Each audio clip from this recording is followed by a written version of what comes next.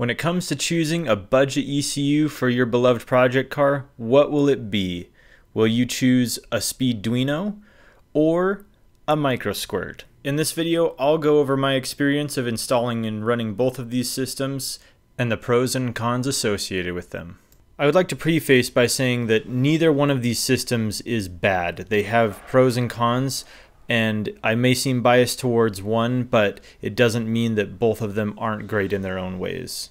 It just means that my experience with these systems is different than yours, and for those who have no experience, I would like to share my opinion and try to help out those that are trying to make an educated decision on which system to use for their vehicle. Now, without further ado, let's get stuck into it. I want to compare Speeduino to MicroSquirt. These are the most entry-level ECUs that you can purchase for any one vehicle. Speeduino is very unique in that it is an open source project that is run by an Arduino. Let's go over the casing. So there's some very obvious differences here being that this is an open source project on the Speeduino in that the case is just a 3D printed part that you can see here. It actually turns out okay. There's a few different styles you can get off Thingiverse and some files available from the community, but the mounting is not amazing. There are a few different holes on the Speeduino where you can mount it to the case and one back here as well that you can run with a standoff there. However, the mounting is not great and if you want to keep this in a car during high temperatures, uh, especially if you live in a hot place, you definitely want to print this case out of something a lot better than PLA. Perhaps some high temperature nylon or carbon nylon to keep them from warping. I have installed one of these into a Volvo 240 and the case definitely warped when it got really hot outside. So this right here is the you know the basics of the base of the base. You can just get this square box. It has a uh, basically the same style lid that goes on top of it and this just sets inside of it with a few different screws. There's nothing inherently wrong with this other than if you print it out of the wrong material, you can have some pretty big issues with it warping, uh, getting in the car. The next is the MicroSquirt. And right away you will notice that the casing on the MicroSquirt is injection molded. It has nice hardware. And one of the biggest features that you'll notice physically is this plug right here. This 36 pin amp seal plug is very nice. It is a very nice form factor. The quality of the plug is very key to making this unit very sturdy and have a good quality to it that doesn't fall apart. In comparison, the Speeduino just has Phoenix connectors right here. You just put a flat blade screwdriver in the top of them and that's how you tighten them down. They are not great by any means, but they do work. You just have to individually run uh, all of the wires here and find a way to control them because you know you'll just have a ton of wires sticking all over otherwise. So another part of the the form factor that is a little bit different is the all of the map sensors for the MicroSquirt need to be external. There's no included map sensor on the MicroSquirt, which really is nice. A lot of modern ECUs have a map sensor built into them. However, MicroSquirt does not. I believe because they anticipate running alpha N on a lot of small engines and this typically would be put on a snowmobile or a motorcycle or something like that where it has very low vacuum and individual throttle bodies. So typically they're not uh, needed in certain circumstances where this is used. But you can also see on the Speeduino that there is a module for VR sense, uh, or sorry, VR signals. This is a VR digital, analog to digital converter. So it takes a variable reluctance and turns it into a digital signal. You actually have to buy this separately. So it just clips on here. Because this is an open source project and a lot of people make different hardware for it, this socket here is left to other manufacturers to make components for it.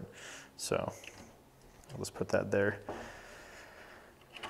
Another key component of this is if we flip it over, the Arduino Mega 2560 sits on the back and it is actually removable. There are headers all along here that you can take it off and put it back on just like this. So you can switch out the actual computer. This is the actual module that does all the thinking. This board here is just an adapter or what you'd call a daughter board for the main Arduino board. So it just takes all the inputs from the engine and the outputs and converts them into a signal um, or a voltage that can be run off of the Arduino that sits underneath of it. Taking a closer look at the Speeduino, you'll see this area in here is the prototype area, the prototyping, and it gives you additional inputs and outputs for communicating with the Arduino on the backside. And basically all that means is that if you want to run launch control, like this wire right here is actually the input for launch control, you have to go in and solder in a pin and a wire to run that individually. Whereas with the Megasquirt, there's a dedicated uh, pin that you can use, or typically there are a number of inputs and you can just select which one you want to use at that time and change it in software. Let's take a closer look at the Microsquirt module. So as you can see, when we take the case apart, we are left with this nice molded piece. It's very stiff, seems very strong, especially on the ears, and on the top have the same as well.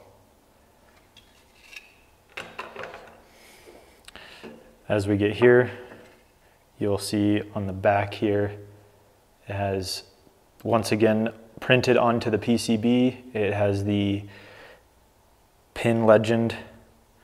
And then here are some pins here. You can also do modifications between these pins. You can put resistors and things to make additional injector outputs, or sorry, ignition outputs. This right here is the best part of the Microsquirt is this nice 36 pin amp seal connector right here, sticking straight out the top. High quality, very strong pins. And then you can see here, this is SMD.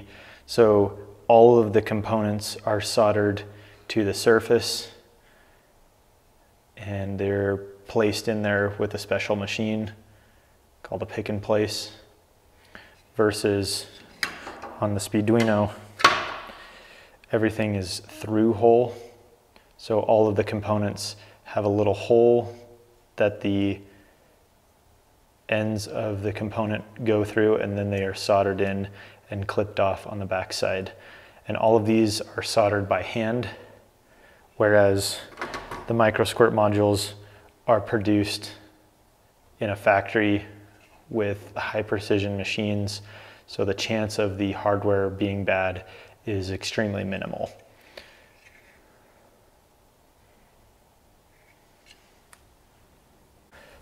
Another small nice feature about the Microsquirt is on the back here, you can see that we have the pinout. Let me bring it closer for you. So you can actually see what all of the pins do as a quick reference if you are installing this. So each of these pins is numbered 1 to 36.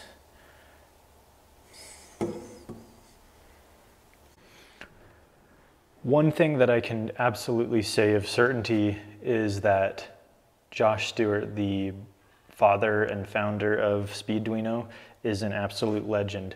He has spent many hours with me going over issues that I have had in particular with this, this unit installed into a BMW and he took the time over Facebook Messenger to answer so many of my questions and was extremely helpful in getting this operational.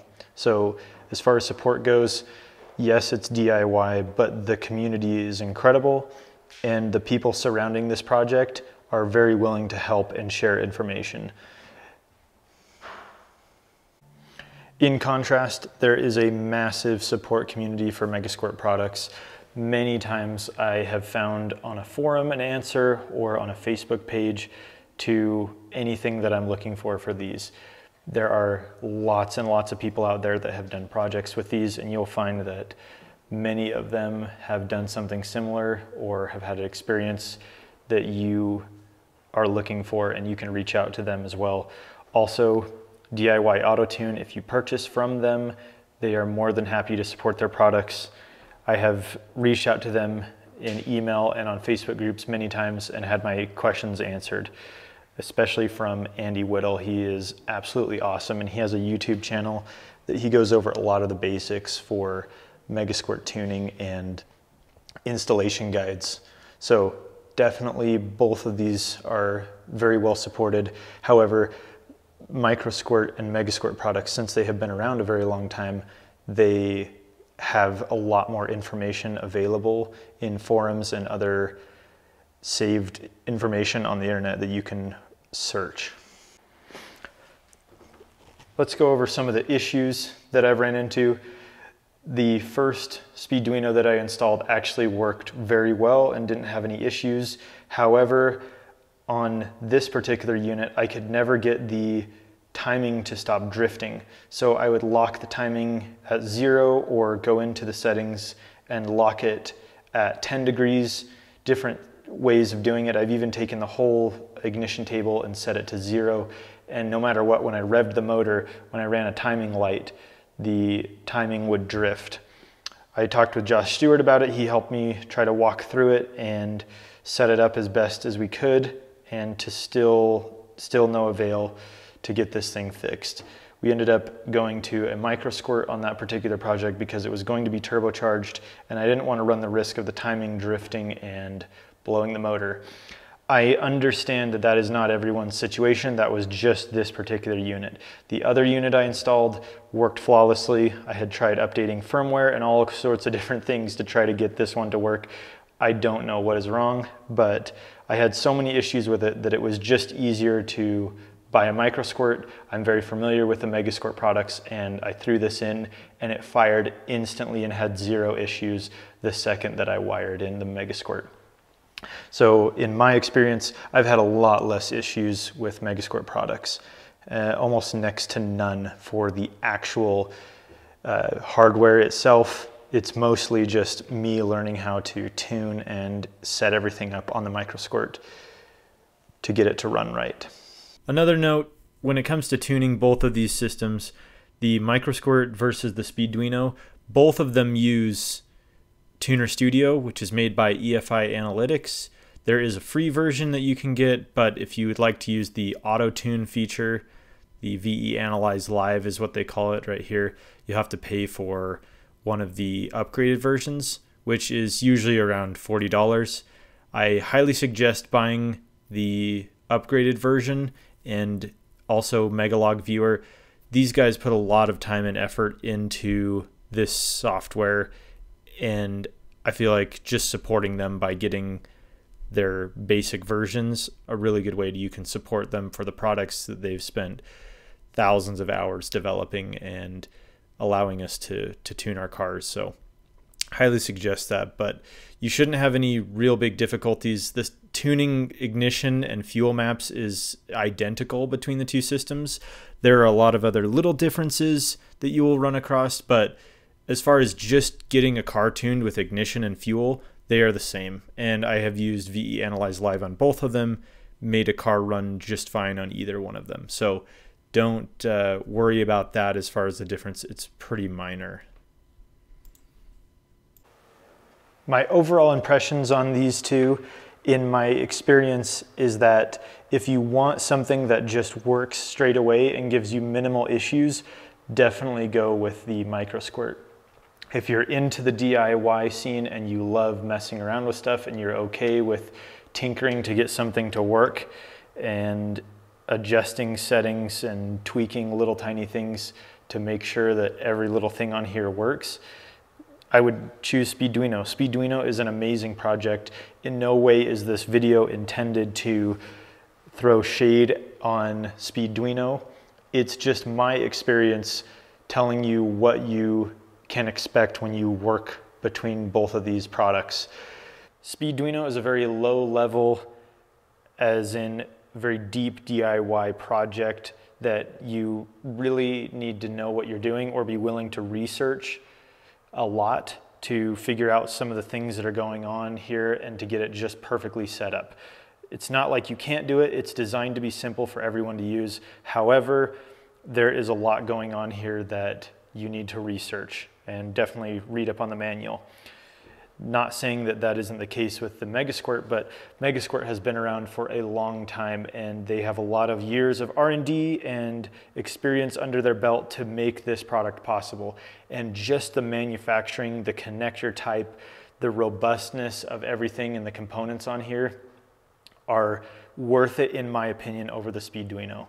If you had a project, something that needed to be really low budget and you want to mess around and learn a little bit, this is, this is the way to go. Maybe a school project, or if you have a very inexpensive car or motorcycle or engine you want to run, this, this would definitely be a good way to go. But if you want to experience the least amount of problems and the most amount of go time, definitely I suggest a Megasquirt product. And if you're trying to stay in a very low budget, MicroSquirt is the way to go. There are a lot of other alternatives to this now. In fact, uh, I think now MaxxECU has a micro, but it's over twice the cost um, of the MicroSquirt. They call it the MaxxECU Mini, and I believe some others have very similar small ECUs as well. But in my opinion, you cannot beat the value of this if you're just trying to get a motor going. And this will do up to eight cylinders. Uh, however, it will not do a five cylinder for ignition in at least that I have researched. So two, one, two, four, six, eight. And then this will do up to eight cylinders as well. And this guy will do semi-sequential, and this will do four cylinder sequential or eight up to eight cylinders in batch. It just has four injector or ignition outs. So four ignition and four injectors, so it can do uh, sequential for a four cylinder, but that's about it. So very similar in as far as functionality, but you just have to work around the DIY aspect of the Speeduino. Feel free to reach out to me in the comments. I'm more than happy to answer any questions regarding the MicroSquirt or the Speeduino. I have installed three of these and five of these. So I have a little bit of experience going back and forth with these.